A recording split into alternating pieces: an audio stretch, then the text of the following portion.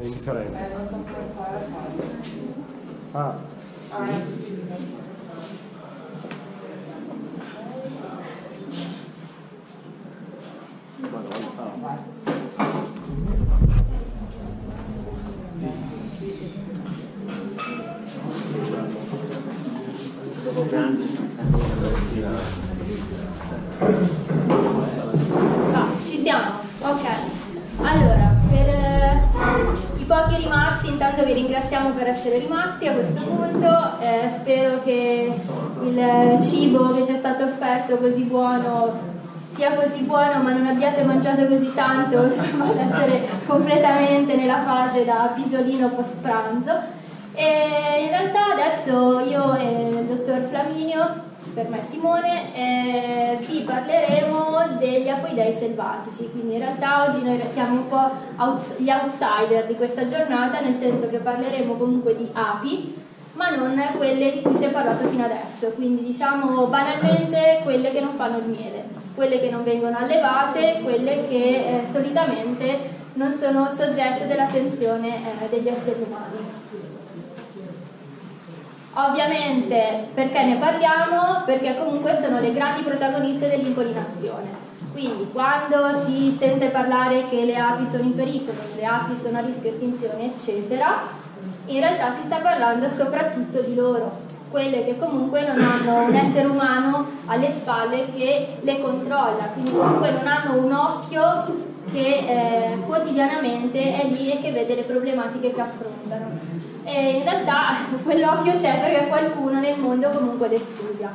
L'importanza dell'impollinazione in qualche modo la sapete, nel caso ve la ricordiamo. Quindi l'impollinazione è essenziale per tutto ciò che è il cibo che noi mangiamo, non solo frutta e verdura, ma anche tutto quello che è legato tipo al mondo dei latticini, se pensate all'alimentazione degli animali, e piuttosto che alla frutta secca, ai succhi di frutta o come giustamente Claudio ogni tanto mi ricorda, anche i vestiti. Il cotone fa parte delle piante che vengono impollinate da eh, animali, quindi da insetti.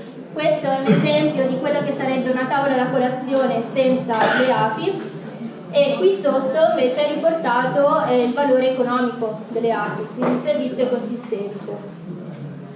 Come vi ho detto non parleremo di lei o di loro, ma di tutte le altre. Chi sono e quante sono? Quindi parlando un attimo di numeri, in Italia ne abbiamo più di mille specie. Nel mondo e in Europa vedete che ovviamente in proporzione aumentano. Quindi non stiamo parlando di solo i bombi o solo le osmie, che sono quelle che oggi vengono più, più nominate quando si parla di altre api, ma stiamo parlando veramente di un mondo, di biodiversità soprattutto. Guardando un po' chi sono, quando diciamo apoidei, tassonomicamente in realtà è una superfamiglia, come si potrebbe dire vescoidei, quindi sono delle, come un grande raccoglitore, ok? Una grande cartella dentro cui sono presenti eh, dei sottogruppi e quindi voi dovete immaginarvi che queste sono delle famiglie e l'ape da miele per esempio è inserita dentro, non so se ha un puntatore, no va bene, dentro a questa famiglia qua. Però in realtà quando parliamo di api selvatiche o apoidei, in realtà parliamo di tante famiglie raccolte nel raccoglitore apoidei, superfamiglia. Come vedete forme, dimensioni, colori sono tanti, sono veramente diversi, per quello si parla di biodiversità in questo caso, perché parliamo di eh, una varietà estrema, per fare un po' di numeri anche in questo caso. Andiamo da api grandi 3-4 mm ad api grandi 3-4 cm in Italia. Andiamo da api completamente nere, api con gli occhi verdi, api rosse, altri colori mi vengono in mente, di fantasioso, però veramente c'è un po' di tutto. E per farvi capire un po' eh, di che tipo di biodiversità parliamo, è come se io vi facessi adesso pensare alla quantità di fiori che esistono nel mondo. Ovviamente ognuno di voi verrà in mente colori, forme e dimensioni diverse. Ecco, in parallelo dovete immaginare che c'è una corrispondenza anche nel mondo delle api.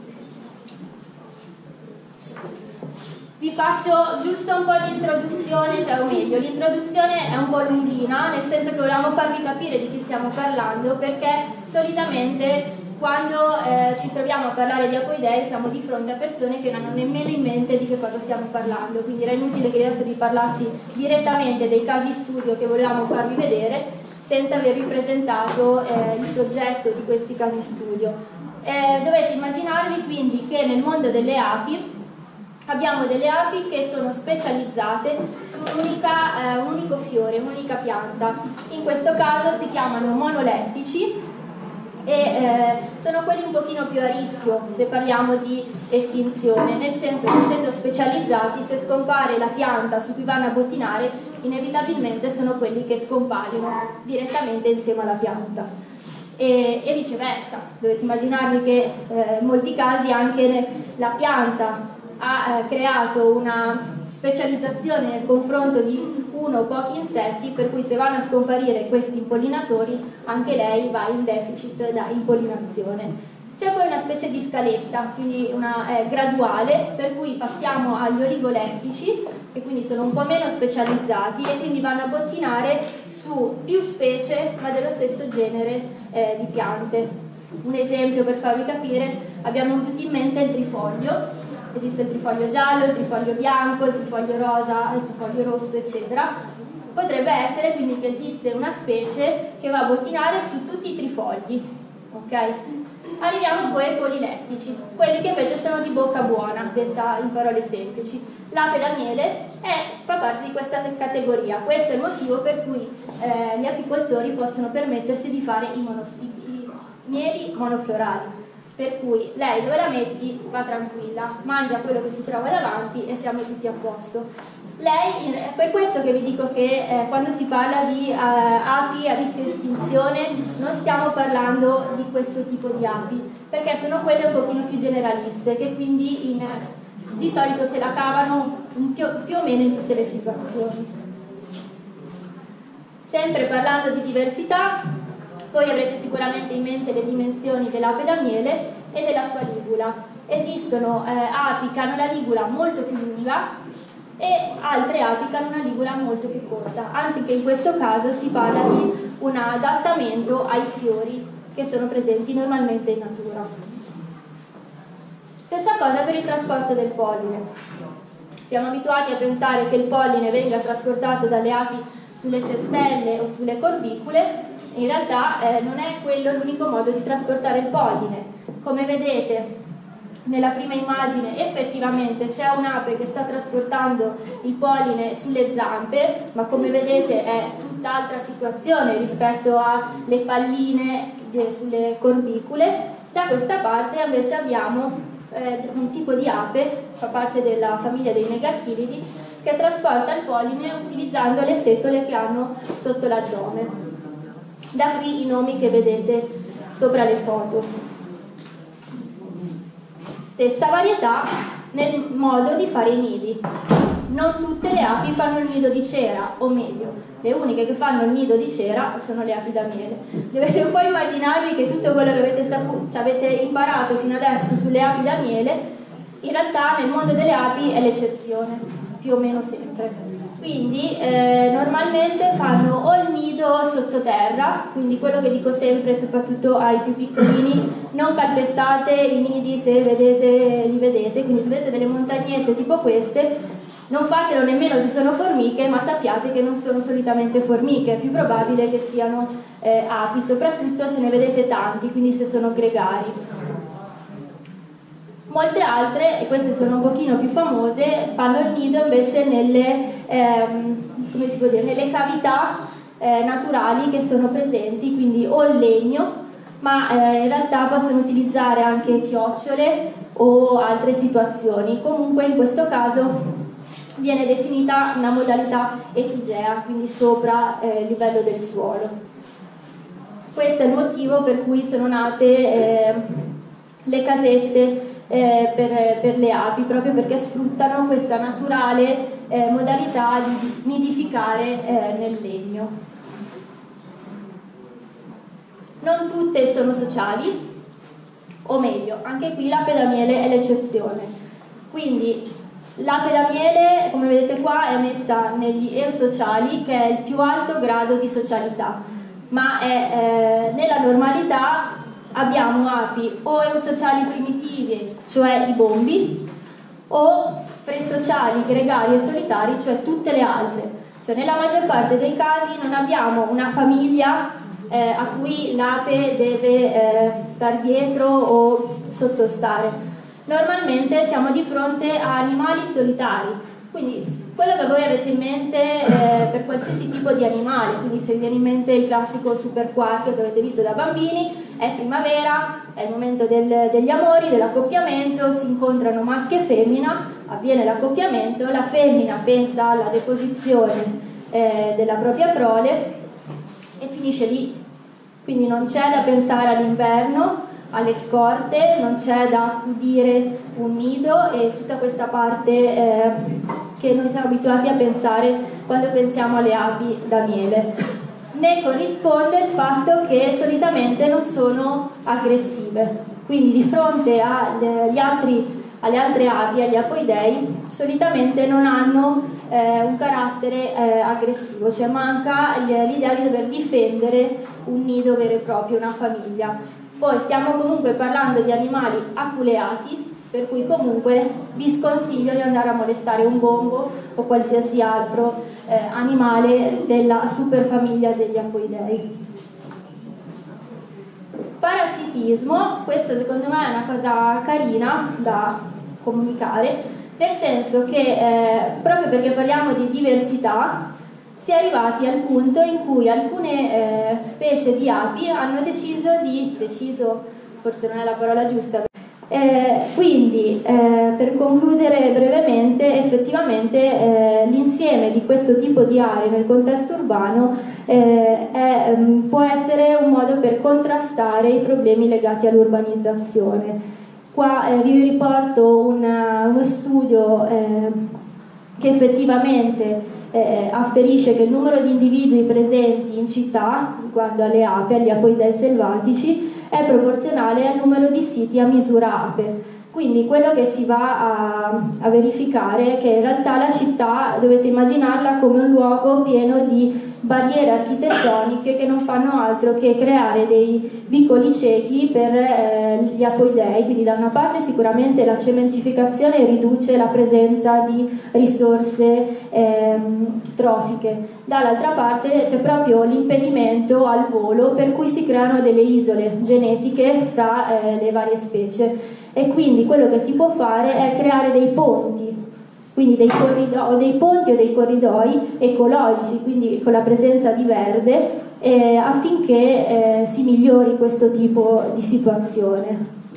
E quindi quello che noi suggeriamo, oltre ai classici eh, biotel, quindi ai nidi per le api, che non sono sufficienti di per sé, quello che bisogna fare è creare una progettazione delle città, una progettazione del verde urbano consapevole. Quindi oggi abbiamo sentito parlare molto di apicoltura urbana, abbiamo visto anche cioè la collaborazione con amministrazioni comunali ed effettivamente questa è l'unica via, l'unica soluzione per eh, portare in città la biodiversità, almeno per quanto riguarda i microhabitat di cui stiamo parlando adesso.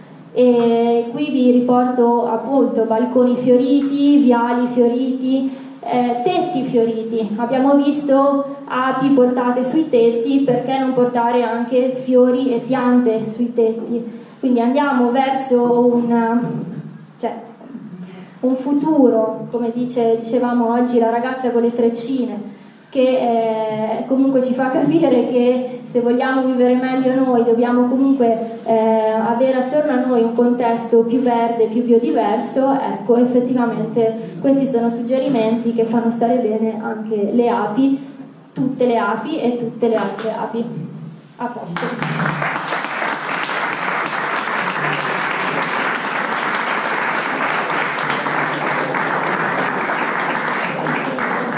sembra che eh, ci hanno mandato un bel messaggio di, di ecologia urbana e così quando vedremo anche delle aiole non sfalciate saremo più felici perché l'aiola non sfalciata permette a tutti gli insetti di vivere meglio. Se posso aggiungere, sì. cioè, c'è una, via- c'è una bella differenza tra l'incolto, non, ge- non gestito, il degrado e una gestione consapevole e, e comunque eh, gentile, no? Cioè, quindi io poi anche, io lo dico sempre anche quando parlo con gli assessori, col politico che ha sempre bisogno di da una parte pensare al voto e da una parte pensare al costo.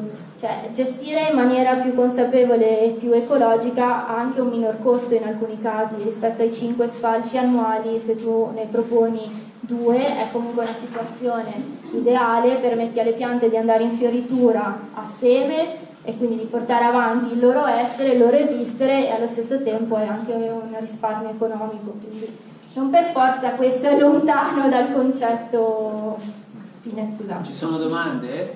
No, sì. Quando parlavi di classificare eh, il rischio di estinzione delle Sì. api, l'apis mellifera com'è collocata?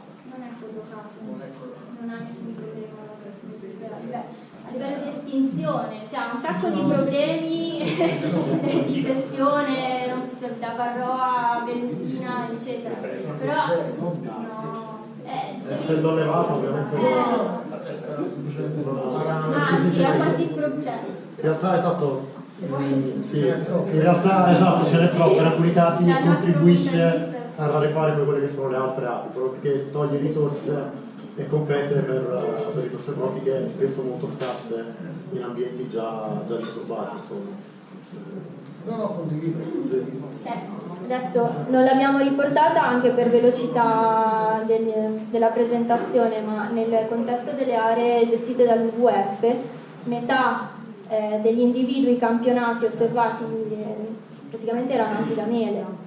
Quindi a quei numeri devi aggiungere altrettanto solo di api da miele. Quindi in un contesto eh, come possono essere quelle osi, quindi biodiverse, nel senso di tanti siti di nidificazione e tante fioriture che coprono tutto l'anno, effettivamente stanno un po' i- bene un po' tutte, ma in contesti in cui hai già problemi di poche fioriture, se metti tante famiglie, tante arnie, eh, effettivamente è una competizione proprio sia a livello di numero che a livello di spazio, insomma, soprattutto in un contesto urbano, questo effettivamente si verifica, quindi anche qui riempiamo le città di api, va benissimo, però anche lì con un po' di raziocinio, perché riempire, cioè ci sono poche fioriture in città, se mettiamo api arnie su tutti i balconi eh, perdiamo le altre, cioè il rischio è quello. C'è, stata fatta una ricerca dimostra Ci sono diverse ricerche, No, e, leggendo si trova anche delle ricerche che dimostrano il contrario. lo so, E dov'è la verità? Mezzo. Secondo me sì, perché non è, non so come dirti, non è assoluto, cioè non è che è, ov- cioè, è ovvio che entrino in competizione o non lo è, dipende dal sito, dipende dalla situazione, dipende se vai per farti un'idea, usciamo dal contesto urbano un attimo, vai nella pianura eh, agricola intensiva, estensiva, dove non ci sono siti di nidificazioni per le altre, non hai fioriture che coprono tutto l'anno, ma hai un campo di girasole, vanno tutti lì, se ci sono tre arnie e un po' di api selvatiche se la cavano, ma se mi metti boh, 15, 20, 30 famiglie tutte sul campo di girasoli e le altre rimangono a bocca asciutta dentro, insomma. Fa un po' il contesto che fa la differenza. Principalmente mi sembra di capire che quelle che parassitano sono quelle più a livello più a rischio È un po' una sorta di cascata, Eh, no? essendo associate a una singola specie perché quelle parassite parassitano spesso una singola specie o poche specie un genere. Quella- se manca quella ospite ovviamente a cascata come diceva lei mancherà anche poi quella parassita. Infatti vengono spesso utilizzate poi come indicatrici dello stato non, non tanto di salute quanto della biodiversità di un luogo quindi capite Grazie. Grazie ragazzi.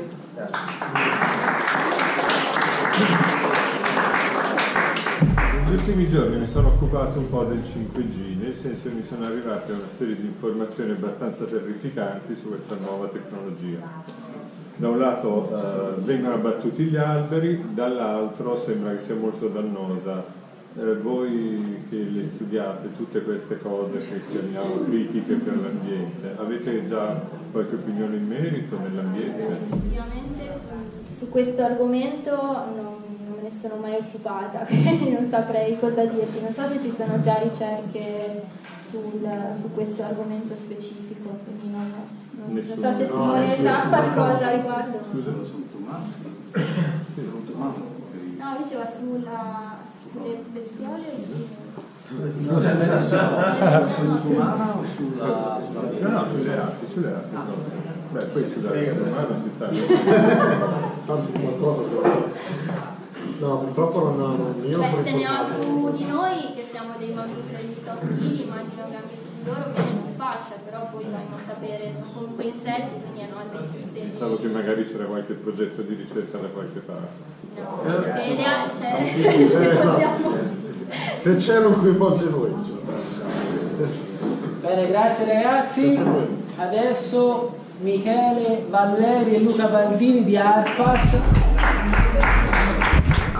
Perché nel mondo dell'evoluzione diciamo che i comportamenti non sono mai decisionali, però si è arrivati al punto in cui alcune api eh, non eh, bottinano più direttamente, ma vanno a sfruttare le risorse accumulate da un'altra ape. Avete presente come fa il cuculo che va a deporre nel nido di un altro uccello e è poi un altro uccellino, un'altra madre che dovrà accudire il piccolo eh, del cuculo. Più o meno è quello che succede nel mondo delle api cleptoparassite. Per cui, eh, esempio, se vedete questa prima ape qua nella foto, ha quasi una, sembra quasi una vespa più che un'ape, perché ha perso molte delle caratteristiche che servono per eh, la raccolta del polline, quindi tutte le varie setole, e ha acquisito invece dei caratteri che le permettono di entrare eh, velocemente dentro al nido, deporre nel nido di un'altra ape, di un'altra specie e poi dopo andarsene. Quindi spesso hanno anche dei caratteri un po' che sembrano quasi di aggressività, perché nel caso per esempio di Psitirus, qua entriamo un po' nei dettagli, praticamente all'interno del mondo dei bombi ci sono alcuni bombi che eh, hanno intrapreso questa strada del parassitismo, per cui assomigliano in tutto e per tutto a un bombo, ma nella pratica entrano, eh, fanno fuori la regina che eh, praticamente è a capo di questa famiglia e prendono in capo la famiglia dell'altra e quindi in qualche modo eh, obbligano la, la prole, le operaie di questa famiglia ad accudire sua- la sua futura prole. Quindi in questo caso cosa succede? Che si chiama parassitismo sociale, per cui la femmina eh, ha- assomiglia in tutto per tutto all'altra femmina, quindi è come se fosse, eh, si deve mimetizzare il più possibile per entrare il- senza dare troppo nell'occhio, ok? Quindi entra, fa fuori l'altra regina e prende eh, possesso di questa famiglia. Passo la parola a Simone che sennò qua Allora, come già anticipato da Elisa, tutte queste specie che abbiamo visto fino adesso e questa varietà è soggetta a una rarefazione e alcune specie sono addirittura a rischio estinzione. Le cause sono le classiche, quelle che già tutti conoscerete, come la frammentazione degli habitat, l'utilizzo di fitofarmaci, l'urbanizzazione o i cambiamenti climatici. Eh, per quantificare diciamo, questo, questo declino è possibile vedere a livello europeo questo grafico che è stato mh, creato dalla UCN, qui si può vedere come una piccola parte delle specie è a forte rischio estinzione, in particolare quelle prime quattro fette. Ma il dato forse più interessante ehm, è quello relativo al fatto che il 60% circa del 60% circa delle specie non si hanno informazioni su quella che è la distribuzione o la rarefazione. E per lavorare a livello italiano, oddio, sbagliato. Ok? Si può utilizzare questa checklist che è stata creata da Comba, che seppur a livello embrionale, perché utilizza informazioni mh, storiche da bibliografia o da collezioni private, dà comunque un'idea per quantificare quella che è effettivamente la rarefazione delle specie. In particolare eh, è interessante vedere come anche in Italia, delle circa 1000 specie che abbiamo, per 106 non abbiamo assolutamente dati sulla distribuzione e mh, una grossa altra fetta è a um, rischio alto, moderato, basso di estinzione. E, mh, noi ci concentreremo sulle api che sono presenti in città. E in particolare dove è possibile osservarle? Ovviamente nei giardini privati, quelli ben curati, pieni di fiori, dove non vengono utilizzati ovviamente mh, pesticidi, all'interno dei parchi urbani, eh, nei cimiteri, è molto interessante, secondo me è anche un bel simbolismo quello legato al fatto che eh, molte api sono presenti nella flora presente nei cimiteri, nelle rotonde spartitraffico che purtroppo vengono spesso spacciate molto frequentemente eh, abbattendo quella che è la diversità fioristica e mh, impedendo alle api di continuare, o negli orti. Proprio a proposito degli orti, ehm, io ho effettuato uno studio che è stato svolto in 5 aree ortive a Bologna, in particolare in eh, aree ortive date in concessione dal comune ai, ai residenti. E, mh, l'obiettivo era quello di studiare eh, le comunità di api presenti in queste 5 aree ortive, caratterizzate da diversi gradienti di urbanizzazione e, mh, e ho cercato di evidenziare, di capire se il tipo di gestione del suolo potesse o meno aumentare la percentuale di specie che nidificano nel terreno, quelle oligolettiche e quelle reptoparassite, che sono le tre categorie, come anticipato da Elisa, eh, più minacciate ehm, dal rischio estinzione. L'area di studio è questa, questa è Bologna, ehm, si possono vedere le cinque diverse ortive, in particolare c'è quella del Paleotto, che è quella più, più naturale, tra virgolette, perché è situata nel, nell'area dei colli di Bologna, l'orto botanico, che invece è situato in piena area urbana, quindi all'interno delle mura di Bologna, insieme all'orto di Saragozza è quello caratterizzato da una forte urbanizzazione, mentre gli orti di Verbosa e quelli di Battirame sono caratterizzati da una media urbanizzazione.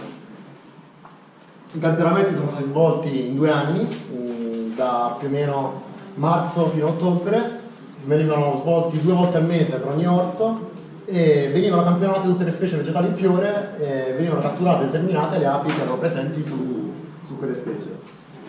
Mm, I risultati parziali, in questo caso mi concentrerò su quelle che sono le specie che nidificavano nel terreno, eh, sono abbastanza positivi, tra virgolette, ovvero la maggior parte delle specie presenti nidifica nel terreno, mm, con ovviamente le aree più, più, più promettenti, tra virgolette, sono quelle del Paleotto, che vi ricordo era quella più vicina all'area dei colli, quindi quella più naturale, seguita da Erbosa, Saragozza, che pur essendo situata in ambito urbano aveva i colli alle spalle, e per ultime Battirame e Orto Botanico.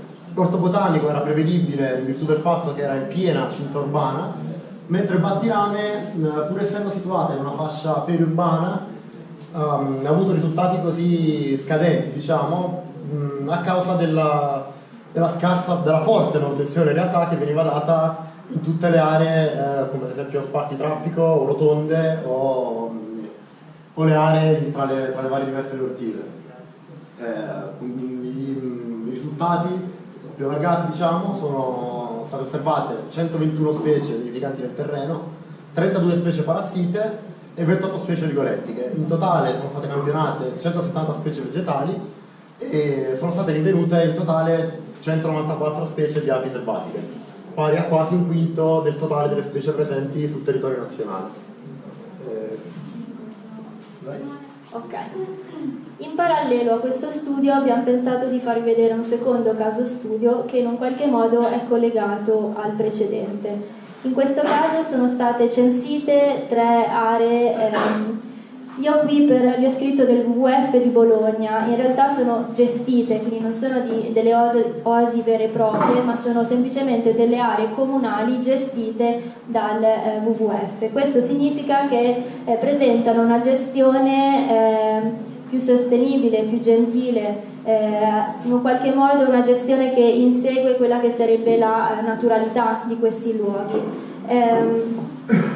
Per farvi capire perché vi stiamo parlando di eh, anche queste tre aree, perché se vedete rispetto a quella che eh, è l'area più centrale di Bologna, quella che noi diciamo dentro le mura, quindi il vero centro storico, se le aree di cui ha parlato Simone sono quelle con le stelline rosse, le aree di cui vi sto parlando io adesso sono queste tre aree eh, con la stellina gialla. Quindi effettivamente sono fuori dal centro storico, ma se allarghiamo l'idea eh, di eh, urbanizzazione, allora anche queste tre aree sono effettivamente eh, nel pieno contesto urbano. In questo caso eh, lo studio è antecedente a quello di Simone, quindi parliamo del 2014 e eh, il protocollo di campionamento è leggermente diverso, quindi in questo caso eh, si andava in campo una volta al mese e si facevano quattro turni di osservazione al giorno, compresi fra le 9 e le 5 del pomeriggio e il transetto era fisso, quindi praticamente si sceglieva sempre lo stesso percorso e quello che si andava a valutare era eh, da una parte l'evoluzione delle fioriture e in contemporanea quindi l'evoluzione, la successione delle specie di apoidei che si sono andate a presentare.